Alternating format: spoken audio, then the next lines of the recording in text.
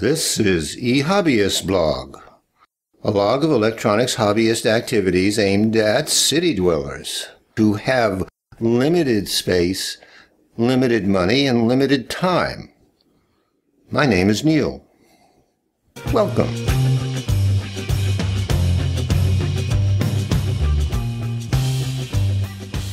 During this video, we will continue work on the AC power component and install an illuminated power switch and some of the associated wiring. Looking at the AC power component circuit diagram, we have the AC power input module consisting of uh, input three-pronged socket and a half amp fuse. The AC power cord has on one end a standard three-prong plug and on the other end a socket that fits into the AC power input module. I'm now going to add a single pole, single throw illuminated switch. The black hot line is being switched. When the switch is closed, current flows through a neon lamp into a current limiting resistor and through the neutral line drawn in this diagram as gray. The green input ground will be connected to the enclosure. Looking at the panel diagram, I'm going to have to drill out a rectangle to accommodate the power switch going to do this by drilling three holes as close to the edges of the rectangle as I can get to get rid of most of the material and then be filing the remainder of the material to shape a rectangle. Now what I'm doing here is removing the AC power input module. The switch is going to be installed just above that and there's going to be all kinds of drilling and filing and so forth. I don't want this module damaged. So we take it apart again. I'm building this incrementally, and so there's a lot of this teardown stuff. This magnetic tray is uh, quite useful in keeping things in place.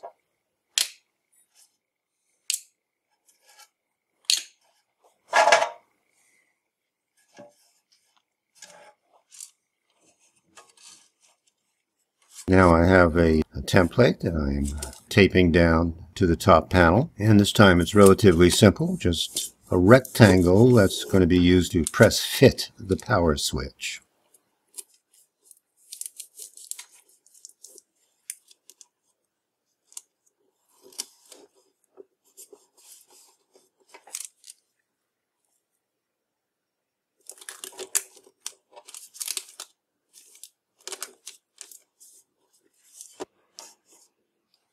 Using an automatic center punch to punch the centers of the three holes used to drill out most of the material.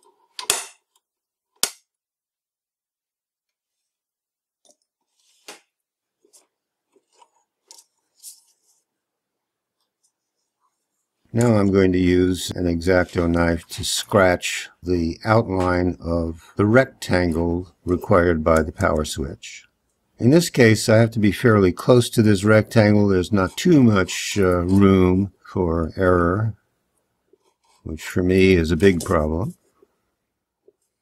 Because the, switch has a very narrow lip on top to cover my blunders, and it needs to be fairly close top and bottom, otherwise the press fit won't press.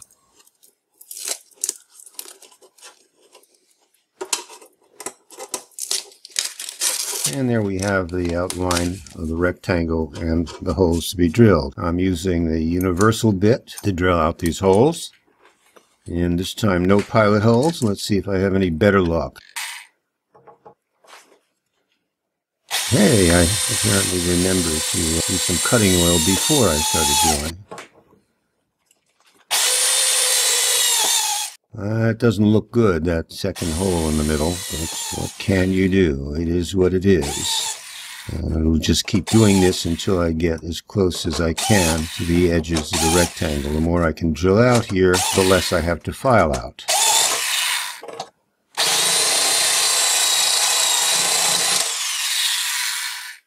Now I'm using the uh, flat file this time the rectangle is large enough and I can use the uh, full 12 inch flat file. This is time consuming and I'm not going to come anywhere close to showing this in real time.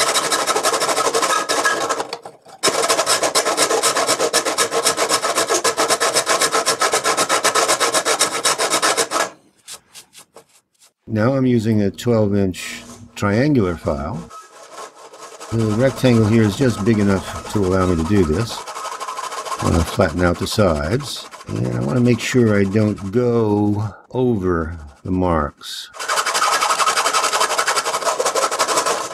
Now we've got the bottom fairly well flattened out.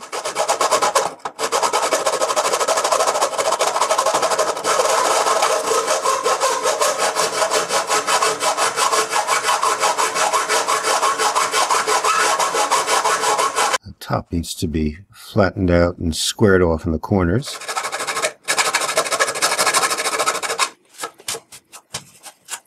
Test fit of the power switch.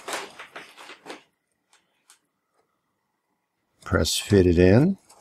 And uh, lo and behold, it just fits. That's, that's pretty good. Yeah, it's a nice tight fit. Now I can put the AC power supply input module uh, back in.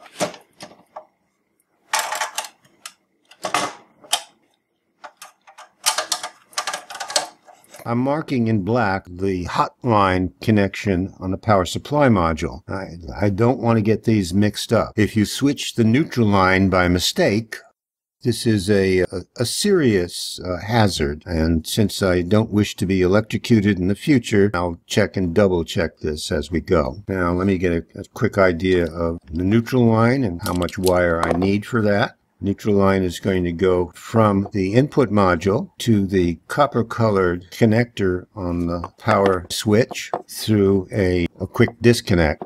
I'm using these disconnects because I know that I am going to have to disconnect these things often in the future as various and sundry other components are added to the system.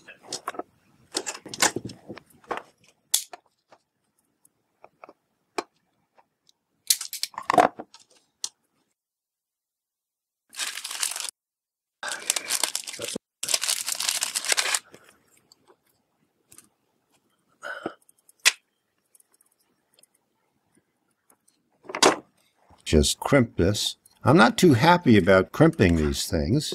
And let me just test the connection here. I've also got a white wire coming out of there, the white being neutral for downstream components. And now we're measuring out the hot line. One leg of the hot line goes from the AC power input module to the power switch, middle of it.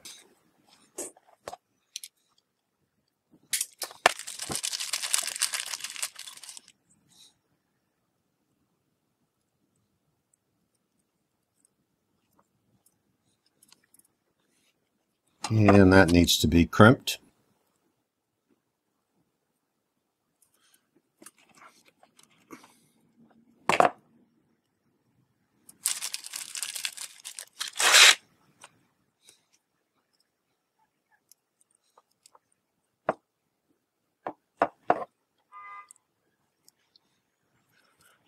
So we're running this connection from the AC power input module to the center connector of the power switch.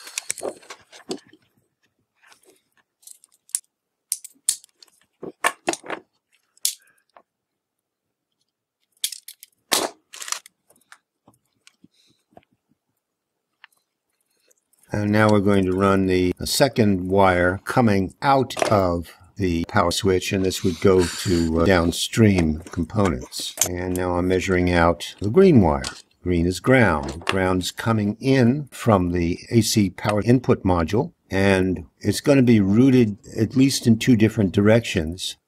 One will be to the chassis ground binding post to establish a chassis ground on the top panel and on the bottom panel, I'm going to route that ground to something else that's appropriate make sure that both the top and bottom panels are independently uh, grounded. Uh, this is number 16 wire. It's uh, the heaviest green wire I could get my hands on.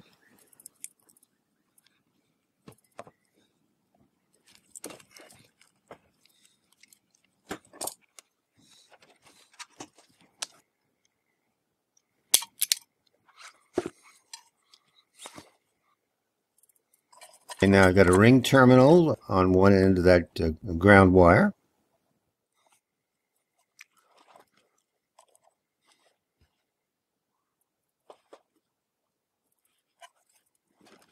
And now we're going to solder the ground connection to the ring terminal. And that ring terminal will eventually go to the binding post.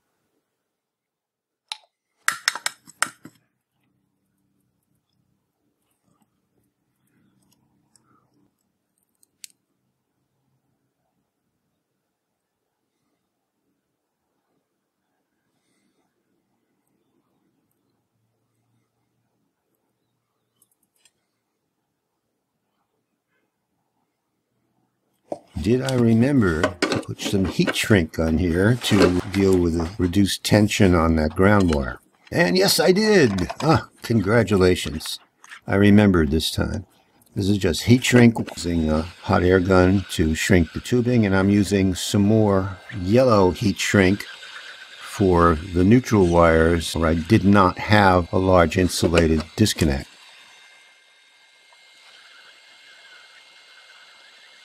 Now I'm marking the area around the chassis ground binding post. I'm doing that to establish the area that I have to scrape off. I need to get the black paint off there. I want that binding post in uh, good close connection to the top panel. Now what I've done here, and which I didn't show, but which is obvious looking at the chassis ground binding post area, is that I scraped off the paint from the bottom side of the enclosure uh, so as to allow the chassis ground binding post to come into direct contact with the metal of the top panel. And now I'm reconnecting the chassis ground binding post and tightening it up a bit for now. Having connected the green ground wire to the chassis ground binding post, I'm now going to connect the other wires. Starting with the white wire, the neutral, being connected to the power switch, and the input module, the black wire connected, and now the uh, ground connected.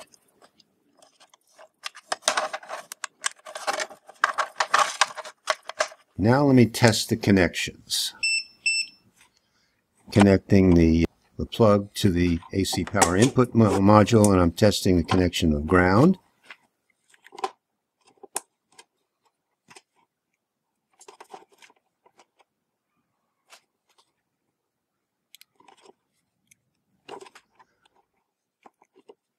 Okay, and uh, now we're testing uh, the hot line. By George. There's continuity here. And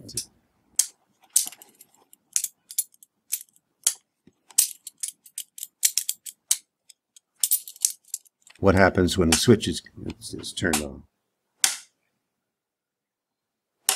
In this video, I presented a circuit diagram of the AC power component thus far. I created a template, did the required metal work, and then installed an illuminated single-pole, single-throw power switch. I did some of the associated wiring, connecting the AC input module, the power switch, and the chassis ground binding post.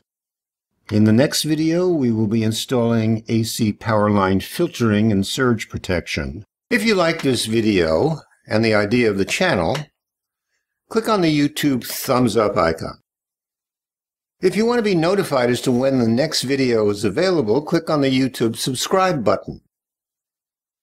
If you want to suggest future directions or topics, make corrections to published videos, or voice your opinion on related matters, then leave a YouTube comment.